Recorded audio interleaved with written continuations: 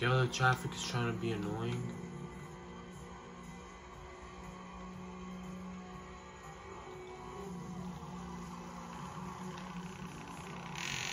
Why there of all places?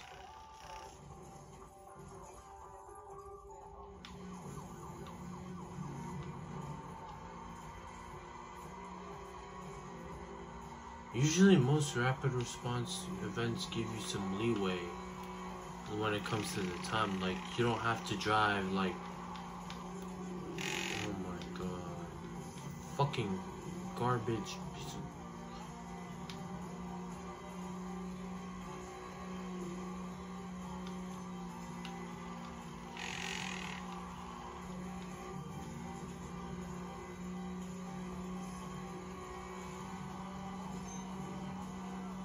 Okay, that was a much.